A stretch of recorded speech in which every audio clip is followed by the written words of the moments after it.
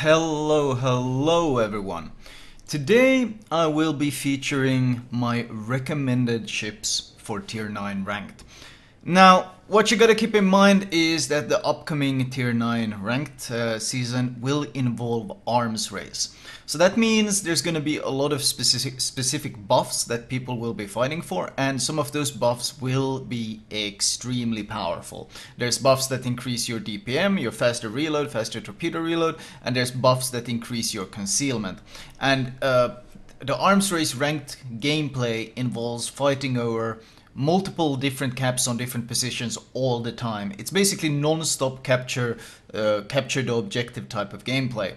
So this naturally means that, well, first of all, DDs have increased value because they are the fastest, most stealthiest ships, they can go pick up these buffs for the team, so DDs will automatically gain a lot of value. On the other hand, battleships lose a lot of value in this type of rank because, well, they are the clumsiest, the slowest, they struggle to get into these positions, and uh, of course they don't really have that good of a counter against any sort of torpedo play, and increased concealment means ability to torp from closer ranges and blah blah blah. It all steamrolls, and having played a fair bit of arms race in multiple different ships, uh, the carry potential in both radar ships, uh, especially destroyers and radar cruisers, has been much higher than it is in any other game mode. So keep that in mind when you watch this commentary. Um, this is not some. This is not ranking the ships how they perform in random battles. This is ranking the ships how I expect them to form uh, perform in this upcoming arms race ranked game mode. It's limited to tier 9, and honestly, sometimes in the past I've done so that I've split them up into multiple different tiers, but mm, it usually gets so convoluted and so hard that uh, this time I'm doing it very simply. Uh, we have three different sets, three different uh, places where I will place a ship. It's either a bad ship, a ship that I don't expect to perform at all in ranked, or it's an average ship, which could go either way. You can have a bad or a good performance depending on how the how the match turns out but usually they're going to be kind of middle of the pack. Not a ship that you will particularly hate seeing on your team but not something that will make you that happy either. And then i have the top picks which are the ships that i expect to perform well pretty much always regardless of how the match starts out because well once again arms race is kind of snowballing. If one team ends up winning a lot of early capture point objectives they get a lot of buffs and the match becomes a lot harder because the enemy has better concealment, they have better DPM, they have they are healing. Like um, it tends to snowball a fair bit. So having an early game impact is very important in arms race. Right, starting off, I'm gonna start with the bad ships. Ships I don't expect to perform no matter what. Even if you get all the buffs, you're probably still not gonna be as strong as the competition. And the first one here is the Friedrich Große. It's clumsy, it's massive, it's got garbage concealment. Yes, it's got Hydro against Torps, but it still doesn't save it from all the damage it will take, because even if you see the Torps coming, you won't necessarily be able to dodge them. And it can't really deal that well with punishing destroyers either, because, well, it only has 8 guns, and German HE isn't gonna win any prizes, and the terrible firing angles. Honestly, there's a lot of things bad about this. It just goes in the bad section. Another ship that goes into the bad section is the Ibuki. I cannot recommend the Ibuki for any sort of ranked play. The one thing that the Ibuki does well is, or fairly well, is mid to long range HE spam. But there is almost no mid to long range HE spam in ranked because, well, everyone is so stealthy, it's a lot of capture point fighting, and uh, later on in matches there's always a lot of close range brawling and stuff going on because everyone is so stealthy, you kind of pop up right next to the opponent. And the Ibuki really, really sucks in those kinds, kinds of situations because, well, the ship doesn't have any armor, 25mm gets overmatched by everything, HE penetrates it easily, torpedo angles are bad, uh, there's no real radar, no real impact, so nope, Ibuki goes into the trash can and the Izumo follows the same route. The Izumo also is on my bad list of ships. Uh, it's got such terrible base concealment that even with full stealth build you got 12.9 and more importantly the guns gun accuracy is very inconsistent. Uh, it doesn't it's a massive ship, it doesn't have the best torpedo belt, it doesn't handle that well. It really doesn't and even worse, you have to give a lot of broadside to actually use all of your guns. And of course, the Izumo gets citadeled quite easily at close range, so if it ends up being brawls, which it tends to often do towards the later parts, or somewhat close range fights, the Izumo will suffer the hardest. Cannot recommend this one. Another another ship that kind of stings to not be able to recommend is the Roon, and that's because I really like the Roon. I really enjoy it. I think it's a fun ship, but uh, once again, the concealment. Well, the concealment is okay, but it's not going to win any prizes. But more importantly, you really suffer when it comes to early game impact. The Roon as with the Ibuki, is really good at kiting away and spamming with the backwards facing turrets and it's a good mid-range ship, it's a very very good mid-range ship but it doesn't really have any early game impact. It's it's hard it's hard to have any sort of early game impact. Sure, you can rush in with your um, Hydro Blazing. The German Hydro is pretty much the only saving grace that I think it will bring to this kind of gameplay. Uh, but you can still get melted so easily because, well, 27mm armor, 380mm armor shells won't overmatch you, but that doesn't mean like the likes of Kitakaze won't absolutely melt you, just sit in a smoke and spam you while everyone else spots you because your concealment is so bad.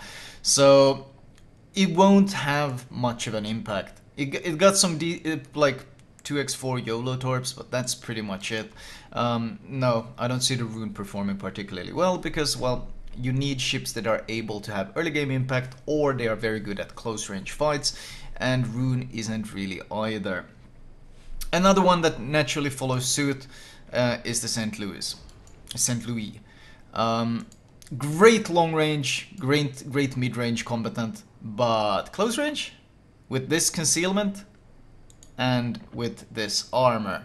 And also, I mean, it's got spaced armor to troll a bit with, but ultimately, it's a long range kiting HE spammer. That's what it does best and uh, that's not what you need for arms race sadly but that's just the way it works it doesn't have that it doesn't have that impact you need. And more importantly, the French cruisers, um, they build in power the longer a game goes on. As I've also often mentioned that the French cruisers, um, they you farm damage, and then you farm damage long enough that your damage starts to impact the outcome of the match, and then you win the game based on how much damage you've dealt and how much like effect you have had.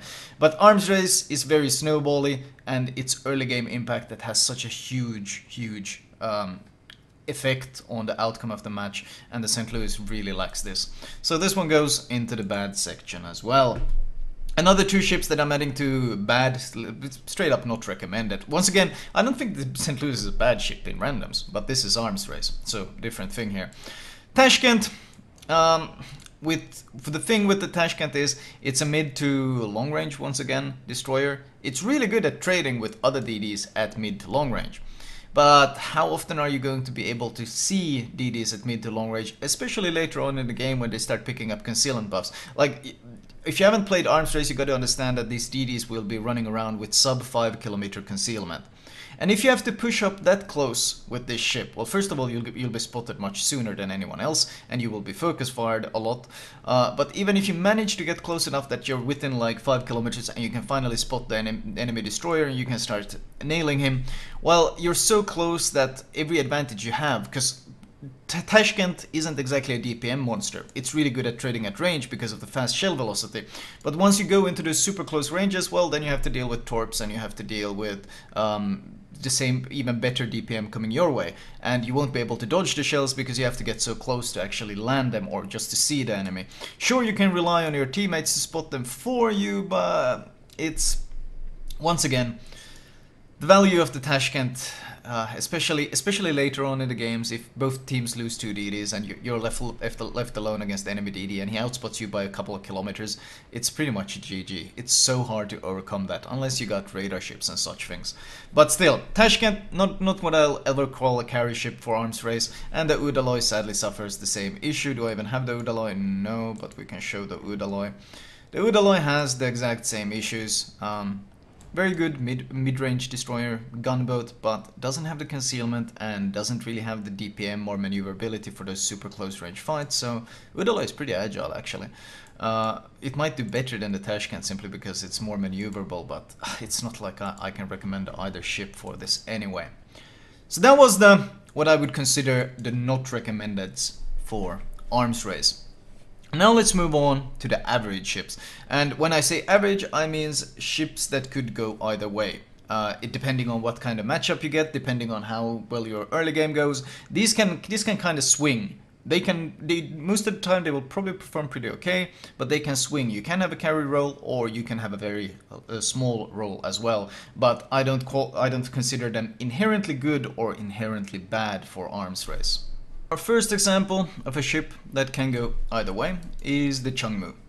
Um, if you run smoke, well then you're kind of just going to be, well you're going to be a Fletcher that can torpedo other destroyers, which is obviously a downgrade. But considering how much fighting there is over early game buffs and how important it is to secure them, you gotta remember that uh, when you secure uh, arms race buffs, you don't need to sit in the cap for a full minute to secure it. No, no, all you need to do is quickly go into the cap when the timer hits zero. So the cap, you can pick up the, the buff. That's all you need to do.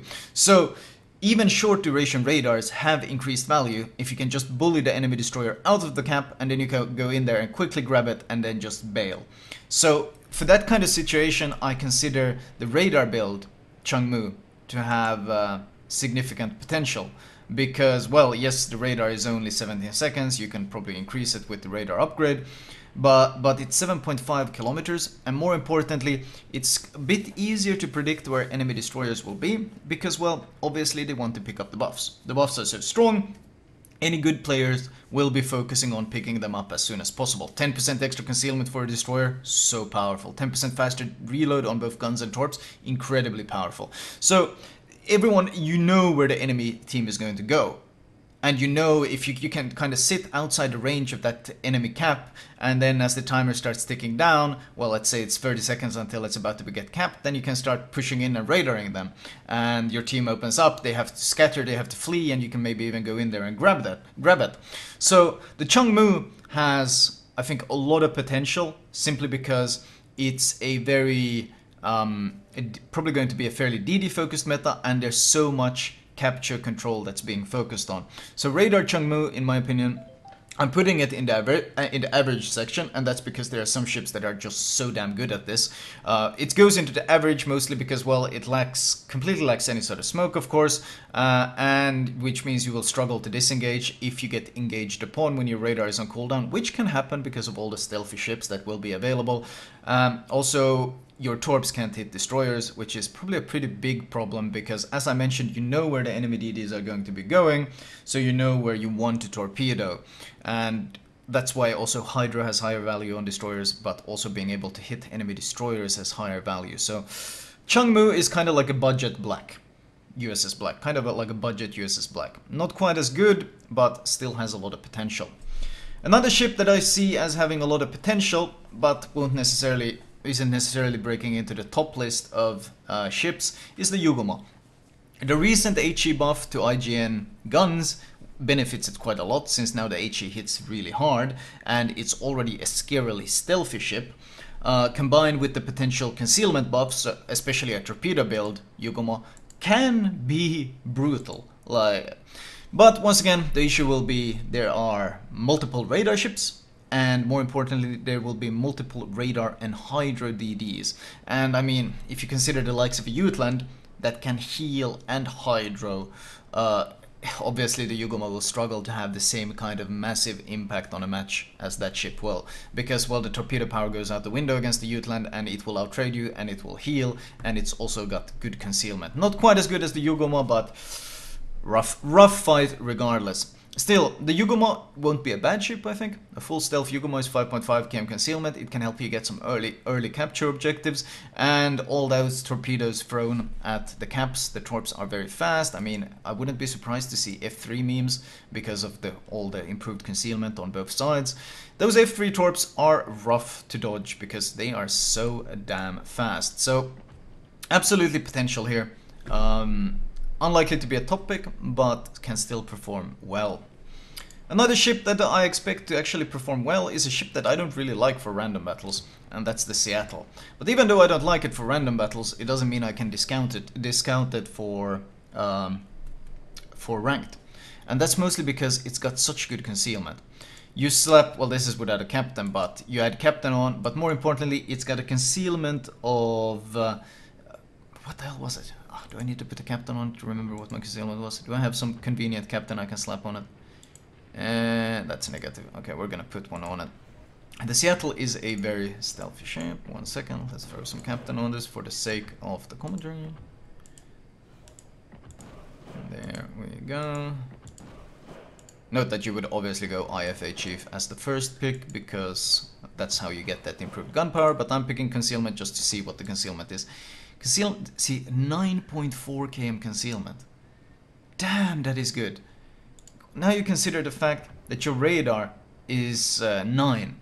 All you need to do is pick up one concealment buff.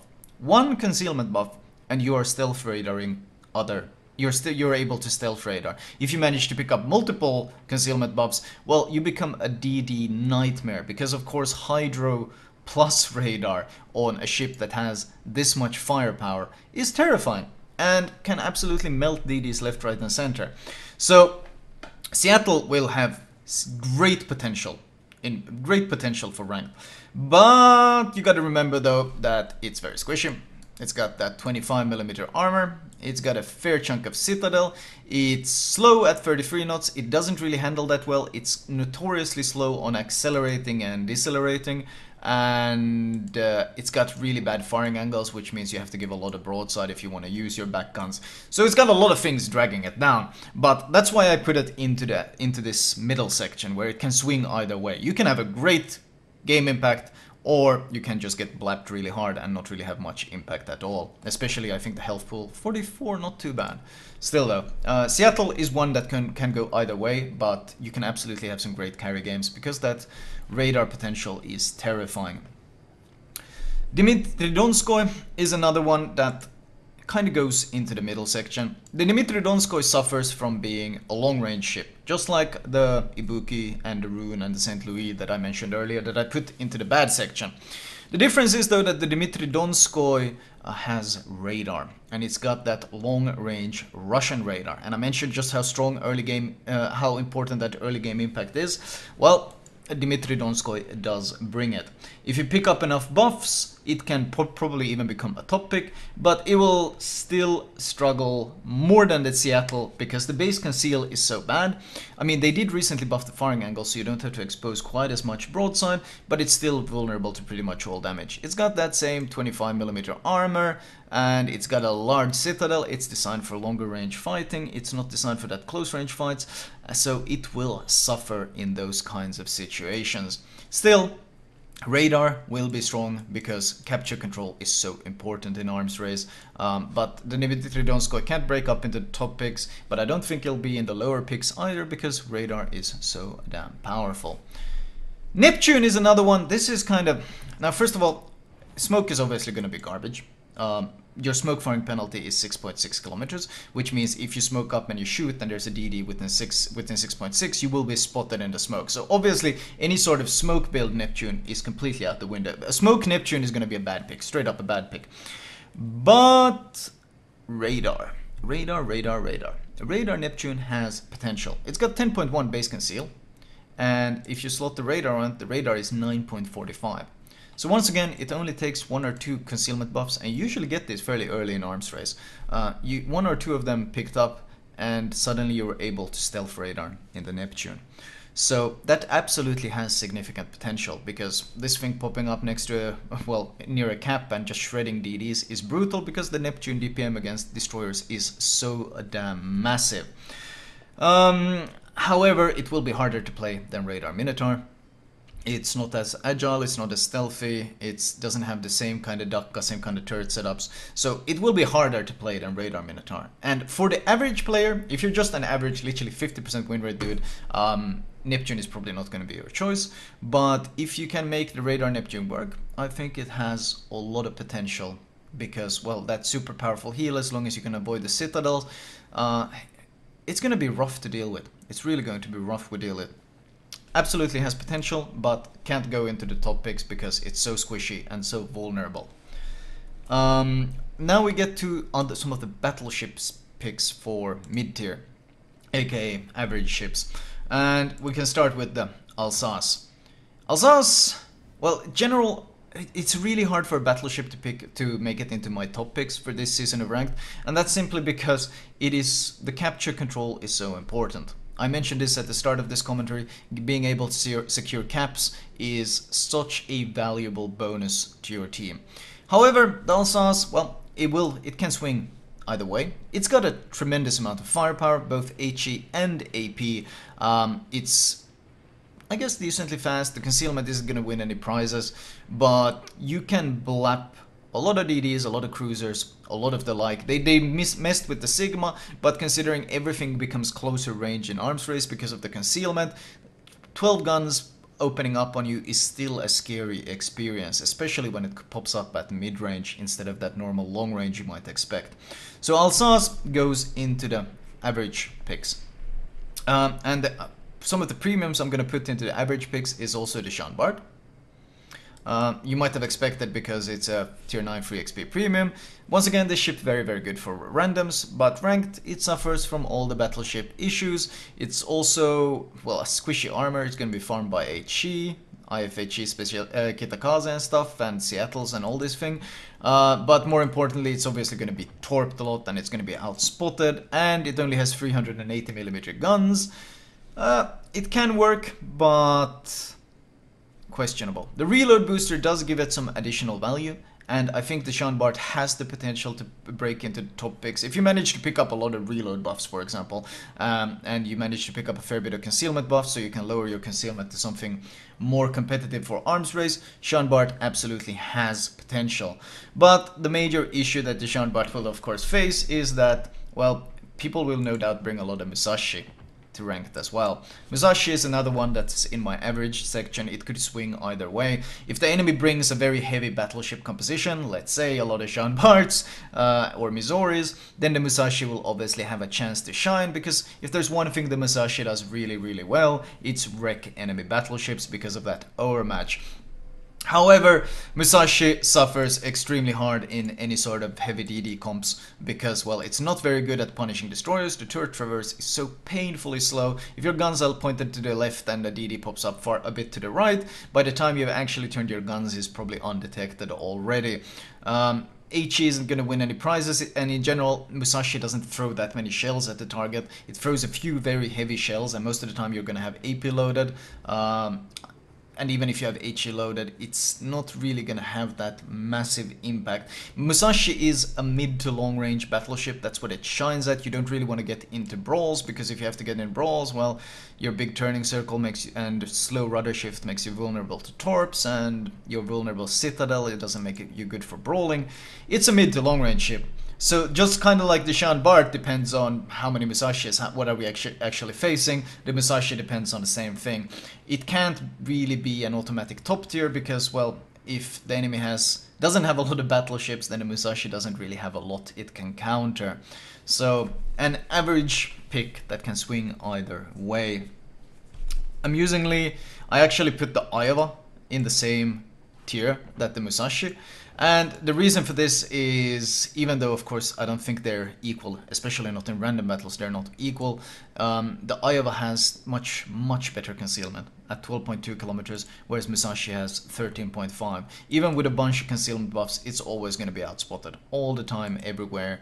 Um, so this one might be a bit ske sketchy. Iowa might be actually worse. It might it might trend a bit lower, but considering I made these tiers so wide, like there's a, there's a lot of flexibility here, um, you shouldn't read too much into it. But I don't think an Iowa necessarily will be a bad pick. It will be a frustrating pick if the enemy has a Missouri, of course, but other than that, I don't think it's too bad. In fact, I even have the Lion in the same average tier. And that's once again because the Lion has such fantastic concealment and it's got such... Well, the Lion is actually really good at close range, which is one of the reasons why it fits into my average picks. Uh, I don't even have the Lion because obviously I don't rate it for random battles. But for this ranked type of gameplay, I mean, 830 meter turning circle. Uh, it has practically no citadel because it's that UK design. So in, in a brawling situation against other battleships, the Lion is monstrously good because it can't be citadeled and it can citadel them easily. Um, super heal and great concealment and not to mention, of course, this HE hits like an absolute truck. Uh, problems it has is questionable dispersion and bad firing angles, but get some concealment buffs going and that questionable dispersion isn't going to be that much of an issue. So the Lion is a ship that actually might be surprisingly good for arms race. Even though I actually don't like this ship for random battles at all, I can still see the potential this ship might bring for arms race. That was, I think, that was all the ships that go into my average section. Now, last but of course not least, the ships I consider to pretty much always be a good pick. A top pick, these are basically my top picks for ranked. Uh, ships I expect to perform extremely well in the meta and even if you don't have the best early games, these are ships that can still recover because they have so many strengths and advantages that they can turn games around. The only battleship to make it into this recommended section of ships is, of course, the Missouri. Good health pool, good guns, um, maneuverability is questionable, speed is good though, good detectability, which is something I rate very highly for arms race. But most importantly is of course the fact that you can slot radar and 9.45 km range with 35 second duration add in enough concealment buffs, well, and you're pretty damn close to stealth radaring. I mentioned how early that, how important that early game uh, impact is, and the Missouri brings it in spades, because, well, it fulfills the role of a radar cruiser while at the same time being able to blap enemy radar cruisers. So you spot the DDs and you can blap any cruisers trying to contest your destroyers, so you are such a incredibly powerful big brother for your DDs that enemies will struggle to deal with you. And this is so powerful especially for that early game impact. So the Missouri and even if the game goes into the late game where other if you lose your DDs or whatever where other BBs are going to be completely helpless the Missouri can actually still have a big impact because of that radar and you got four charges so time them well and you can have a significant uh, impact on any part of the game early mid late so Missouri absolutely in my into my recommended section when it comes to ships and the only battleship that I will add to my recommended section. We can move on to the destroyers next. Uh, because there's a fair few destroyers here. I mentioned I value DDs very highly for this season, and that's of course because the caps are so important. The first one we're gonna mention is the black. I actually don't have it, I'm not gonna buy it either, but that doesn't mean that I don't recognize all the advantages that the black will bring to this season of ranked. The main point is of course 20 second radar with uh, 7.5 km range. That is so so powerful. That is so so powerful, uh, especially considering that the black is basically a Fletcher. So, but you also have smoke as well. So that means when it comes to contesting these caps, not only are you able to outspot enemies uh, uh, with radar, but if someone jumps you or whatever, you can smoke up and pick a fight with the radar afterwards. You, there's when it comes to DD versus DD trade and uh, map control, the, the black does it extremely well. Now it does have some issues though. Torps are painfully slow. They hit hard, but they are painfully slow, and you're gonna struggle to hit anything, basically any other destroyers, any cruisers, anything. You're gonna you're gonna struggle to get much value out of those Torps. So it's kind of bad against other ship types, but against other DDs, the black is amazing as long as you have your consumables available. So this is absolutely a top tier pick on my list as well. Other destroyer top tier picks is gonna be the Jutland. It's very hard not to include this and, and just consider it an absolutely insane ship. Um, the concealment is 5.7, which is already amazingly good. The torpedoes are absolutely usable, 15.5 km, these are good torps. The cooldown is 2 minutes, sure, but I mean 10 km range, 62 knots, these are good torpedoes. You can absolutely land them on, on other DDs. The DPM is fantastic, you can spec you can spec IFHE to make life a lot easier with this ship, and just massive Dakka, a massive DPM. It struggles a bit to land shells long range, but when it comes to fighting other destroyers, you obviously don't need this. You got a good health pool, and then of course we got the fact that not only are you able to slot uh, both a heal, but you also got hydro. So you got hydro, smoke and heal all on the same ship. And when it comes to being able to bully other DDs out, it's hard to contest this kind of great concealment, great firepower, able to heal. You can't really torp it, and that makes it really good at pushing into these caps without being afraid of being torpedoed, because you can push in with Hydro active. If someone picks a fight with you, these smokes are optimal for securing these caps because they are very short duration, but they also have a very short reload time. So you're basically going to have a smoke available every time you go into a cap to fight other destroyers. You're always going to have that smoke available. There's never a time where you're going to be caught with your pants down like, whoops, no smoke for me. Um, so, so much flexibility, so much firepower. The Jutland, absolutely one of my top picks for this season. Another top pick is one I actually recently made a commentary on, and that is the Kitakaze. Now, while the Kitakaze doesn't have any amazing hydro, or or doesn't have quite the same amazing smokes. Uh, this is without a captain. Where is actually my captain? Let's. Uh, uh, did I lose? I think I might have. I think I have a full captain on him or some other ship. Regardless, though, the Kitakaze, well, if you watch my commentary, insane firepower. Absolutely insane firepower. It's got good damage on both guns, well, fantastic damage on guns, decent torps, good conceal 5.8 i think it's with the full captain on it and it's with add in buffs that add better conceal add in dpm buffs on this thing like it's already a monster and more importantly all the damage this ship deals uh, is with this improved penetration on these guns. So when you're running IFHE and you can pen 32mm, any sort of reload buffs, buffs translate as a direct damage buff the Kitakaze is great against all ships. It's great against other DDs, it's great against cruisers, you can melt cruisers with this thing, you can melt battleships with this thing. Absolutely one of my top picks for this season as well. And the good old workhorse that will also be into my top picks is the Fletcher. Now, is is gonna struggle against the likes of Jutland and Kitakaze? Sure, but this ship is very, very agile. It's incredibly agile. It's decently fast. The torps are going to be one of its great strengths, I think. Uh, 81 second reload on these torpedoes. They hit like a truck, 10.5k in range. And the thing with uh, torps is that combined with RPF especially, well, you're gonna see when the DDs go for the caps. And you know, you always know where to torp because you know you see those small capture those small buff circles you know that's where the DD is going to go. RPF is ticking showing that he's actually sailing towards it. You preemptively launch torps. And you can do this every 80 seconds. And you only really need to land one of these torps to absolutely cripple an enemy destroyer. So, more than anything, the torpedo power is one of the reason, the reasons the Fletcher goes into my top picks. Now, that doesn't mean I consider it straight up uh, equal to something like the Jutland. I think the Jutland is a better pick. But as I mentioned, these, this entire section is basically ships that I won't mind seeing on my team at all. Ships that I will consider good additions to my team, uh, regardless of what point of the match we're at. So quite won't be quite as amazing as the Jutland, or maybe not quite as amazing as the said uh, as the Kitakaze, but still is going to be a very strong ship. Another one of these destroyers that I think will perform very well is surprisingly the Z46.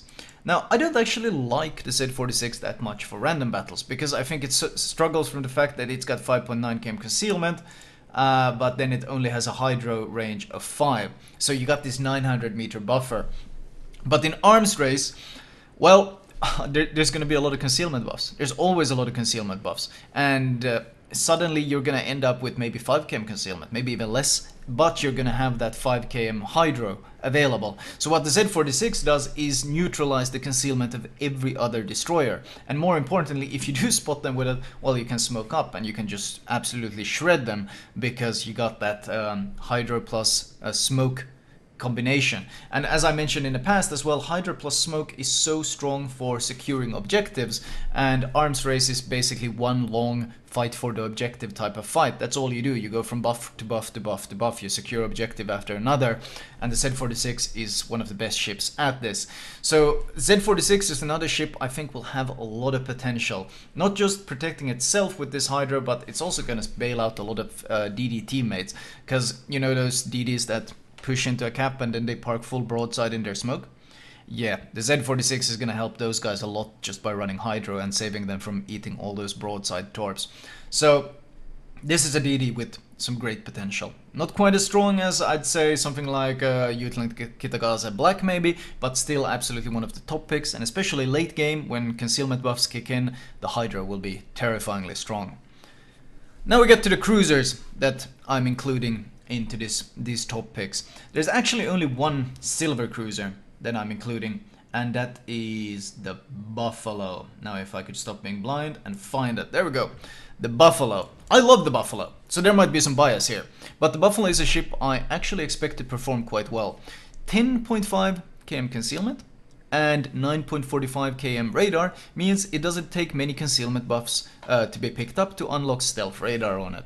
It also has an 8 km smoke firing penalty, which is honestly kind of strange, but more importantly, it excels in closer fights. That super heavy American AP with improved penetration angles can be devastating to both cruisers and battleships alike, and a 12 gun volley of HE will still hurt uh, DDs very very hard.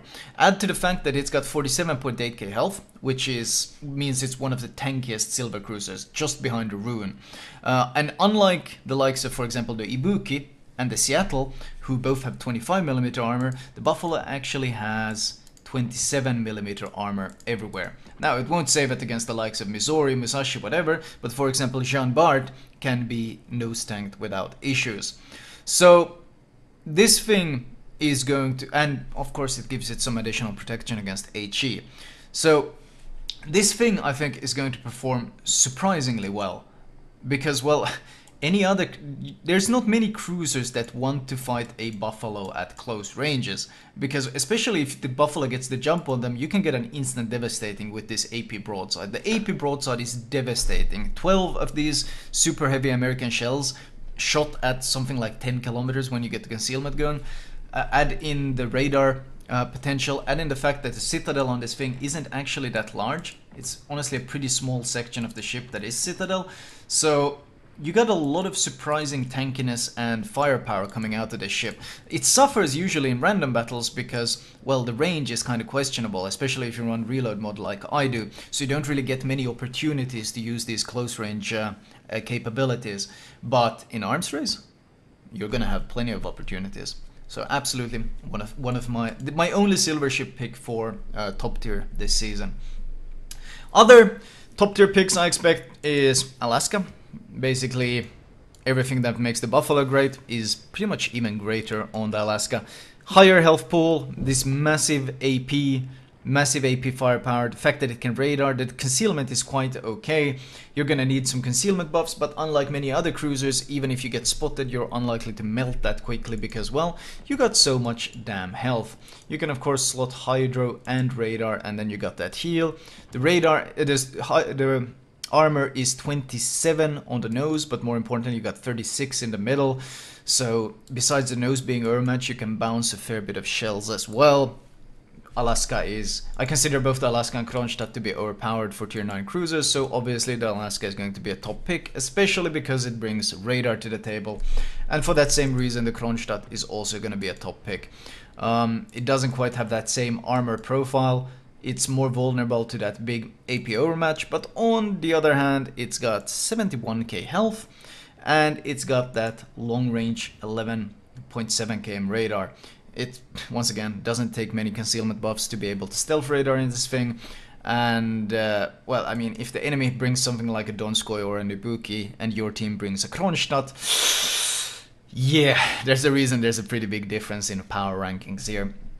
Kronstadt and Alaska for obvious reasons. These are super powered tier 9 cruisers. I don't really think they... I mean, when, when I compare them, I often compare them to tier 10s because that's how powerful they are. So obviously these are going to be my top picks. I'm pretty sure I went through all the ships Uh, if I forgot someone, I have no, absolutely no doubt in my mind that chat or you guys in the comments will let me know. But these are my recommended recommendations for the upcoming ranked season. Someone in chat will probably make a nice list with timestamps to every single ship and so forth, so you guys get a more easier way of watching this because as usual these things tend to end up being really, really long. Anyway, thank you for watching and I will talk to you guys later.